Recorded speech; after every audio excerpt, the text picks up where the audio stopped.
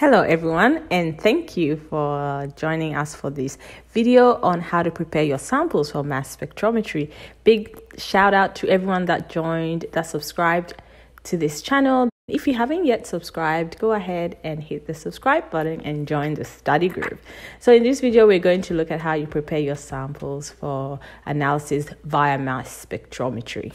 So mass spectrometry is to do with analyzing proteins or maybe you want to quantify proteins, or maybe you want to just characterize, actually find out what kind of protein you are dealing with. That's when the technique of mass spectrometry is necessary. It's one of several techniques, but it, with this technique, you're able to identify proteins, you're able to quantify proteins, and you're also able to characterize it, look at any post translational modifications that the protein may have. So, some uh, post translational modifications like phosphorylation or glycosylation can be identified via this technique. To identify the proteins, you first have to extract them. You can extract them from cells that you're culturing, or you may so make a cell lysate, or you may extract it from the tissue, which has the cells that are expressing the proteins that you want to characterize, quantify, or identify. The protein that you wish to identify or characterize or quantify is usually part of a mixture of complex proteins, other comp- complex proteins. So, usually the strategy is to first extract your protein via your reagent and physical method if necessary. Then you have a step which is called reduction of the protein, and then you have a step which is alkylation, and then you digest the protein with enzyme so it's trypsin, but sometimes you have C also um, as part of the mixture, and then you clean up, and the cleanup removes salts or detergents or other components you use to prepare the proteins, so that the sample is now clean enough to be ionized and analyzed in a mass spectrometer. In this video, we'll focus on extracting proteins from tissues. This tends to require more complicated processing in the sense that you first have to physically shear the tissue as lyse the tissue as, as well as use reagent to lyse the tissue where you are using just cell culture. You just need to use reagent to lyse the cells. The lysis for mass spectrometry you need to keep in mind that detergents are a problem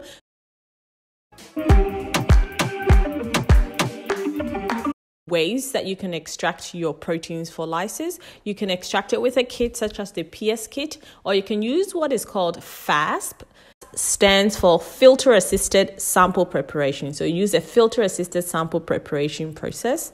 For in solution digestion, you usually denature the proteins with chaotropic reagents such as urea before going on to sample reduction and alkylation as you would the whether you use the kit or the FASP process. So the reduction and alkylation steps are to do with the cysteine amino acids.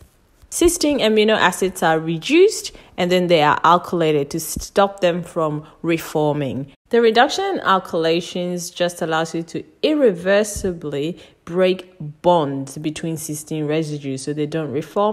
And the ultimate point of this is so you don't get peptides that have been linked together by cysteine bonds, which would make it hard for you when you go to check what identify what protein it comes from because the databases wouldn't have those kind of structures, those kind of um, peptides that are linked via cysteines.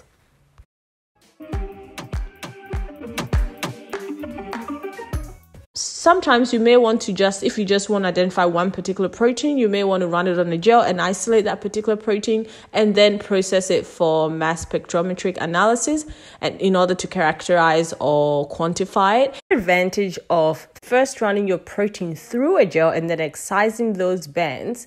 Another advantage is that it also provides a kind of a cage for the proteins when you're processing so that when while you're doing your reduction and your alkylations the proteins are encased and or caged inside the gel. And it's only when you trypsinize that the peptides are now small enough to release from the gel. So it allows you to wash out contaminants, your, your sodium dodecyl sulfate that you use to uh, solubilize the protein and run through the gel. Allows you to wash out salts that you've used in the processing. And it's only at the peptide stage that you're re- that you now release your peptides for going ahead to acidify uh, for mass spectrometric analysis.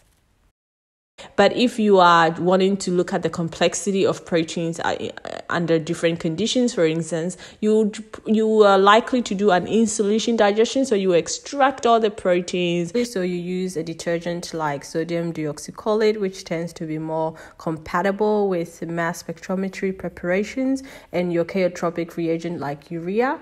Then for really solubilizing everything, you would sonicate a little bit you would then centrifuge to just pellet out any debris that has not been fully homogenized and solubilized. Then you want to do a quick protein concentration determination. So you can just do a nano drop. And this step will just allow you to take a specific quantity of protein to go and do your reduction or an alkylation of cysteine residues on. You usually take about 100 microgram and then you go ahead and do the reduction and alkylation steps. And such reagents include TCEP or DTT. TCEP, the full name is carboxyethyl phosphine. Uh, DTT is dithiothreitol. Once you reduce the cysteine residues, then the free sulfhydryl groups on the cysteine residues are alkylated, and you alkylate them with reagents such as iodoacetamide or iodoacetic acid, and this irreversibly prevents the free sulfhydryls from reforming the disulfide bonds. After the reduction and alkylation steps, in order for you to have the trypsin be active at the required pH, you usually need to resuspend the preparation in a larger volume to dilute out the 8 uh, molar urea that you may have used or whatever concentration of lysis, stronger concentration of lysis buffer that you have used.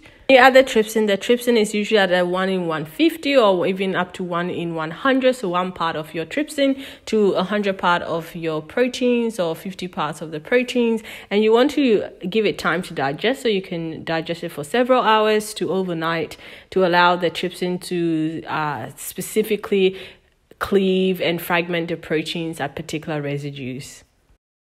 Why do we use trypsin when we are digesting proteins for mass spectrometry? If you know the answer, let me know in the comments. Following this step, because you diluted out the urea into a very large volume, you want to now reduce the volume so that your protein is concentrated. So every injection of the protein into a mass spectrometer via a liquid chromatography column is has enough proteins to be analyzed. So you want to reduce, and usually you use a speed vac where the liquids are evaporated. Of course, with evaporation of the liquid, you're now going to have lots of the salts, the tris that you used, or the other uh, one molar urea that you still have in the system is going to be very concentrated.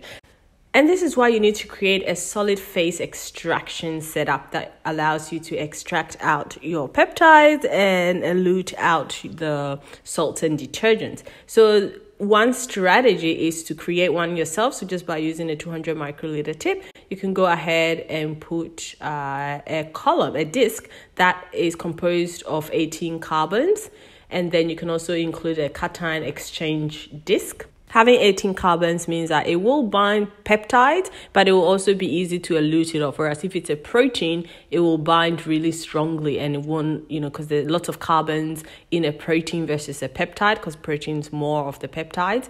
So then the proteins will not come off as easily, but peptides will come off easily and then you're basically going to load your sample on top of it and then centrifuge it. And as you centrifuge it, all the salts and detergents will be eluted and your proteins will be bound by the clean up the C18 tip, be eluted into a collection tube.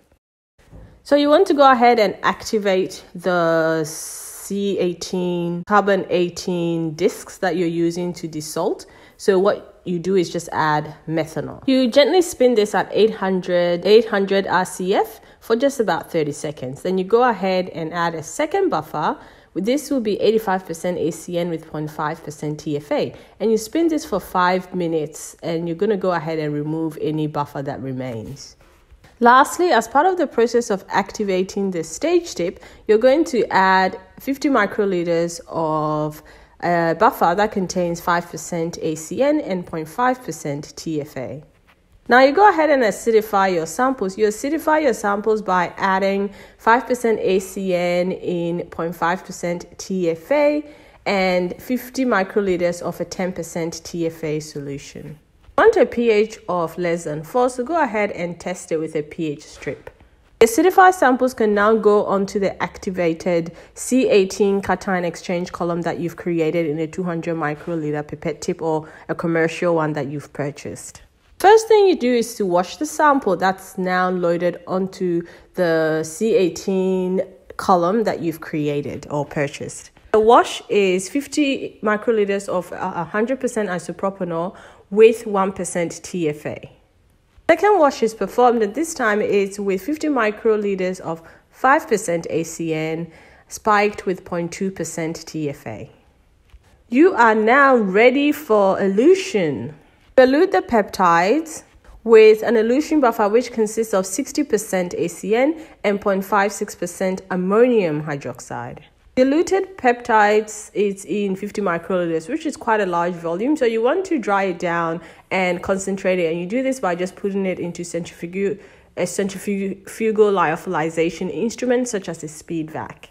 Dry it down as much as possible without being completely bone dry.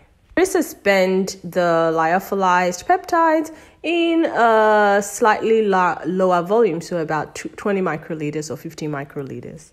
Suspension at this point is 5% ACN with 0.5% TFA. Vortex it, sonicate it for about five minutes. Then go ahead and check the amount of peptides you have. This is just very rough because you can't accurately quantify the peptides this way, but you get a rough estimate by using uh, a nanodrop at 280 nanometers for protein quanti- quantitation. And the first step for preparing to put into a mass spectrometer is that it's gonna you're gonna inject about a microliter to five microliter depending on the concentration. Once you have your acidified peptides, then you're going to separate those peptides eh, via a high performance liquid chromatography column before it's injected into a mass spectrometer via electrospray ionization. Aim here is to get about a microgram of peptide per injection. Then, once inside the mass spectrometer, you will obtain measurements that quantifies how much of each of the proteins that you have. Uh, mass spec in itself is not inherently quantity based. Uh, just because of the uh, different characteristics of the peptide. So there are ways to get around it so you can get quantities. And then it will also do an what is called an MS2 to identify the peptide. So the MS1 gives you the quantities, the initial fragmentations to give you the quantities, and then MS2, the mass spec 2, will go ahead and identify the peptides. So the identification of the peptides, uh, that spectra you submit to dedicated databases or softwares, algorithms that allows you to work out what those peptides, that, that spectra relates to in terms of what peptide will give you that spectra. And some of those uh, dedicated algorithms includes uh, MaxQuant, and then you will go ahead and identify the protein from based on the peptides that have been identified, and that's when you would use database like UniProt. So at this point, what you should also be aware of is that you've alkylated all the cysteines in your peptides. So during your software searches of your spectra, you will need to select the option that says that all your cysteines have been alkylated. And the reason here is that you've changed the native mass of the cysteines by alkylating it. So it needs to adjust for a heavier cysteine than what would be native. Thank you. Some instances, you may be interested in post translationally modified proteins or particular peptides. And if you are, then you would do what is called an enrichment step. An enrichment step just means of all the proteins that you've extracted, you will focus on the ones that you're actually interested in and use reagents or uh, setups that allow you to enrich for those, to get lots of those to analyze rather than just putting uh, all the complex mixture into the mass spectrometer. Uh, once you release proteins into solution, you know there are proteases that will start to degrade proteins. So it is recommended if your protocol, um, you may need to put in protease inhibitors uh, as part of the process. So that's it for how to conduct in solution digestion of tissue samples for mass spectrometry using urea, using a chaotropic reagent like urea. So I'm going to leave it here and let me know if you want us to look at a mass spectra together in, a, in another video. Okay, bye bye, God bless.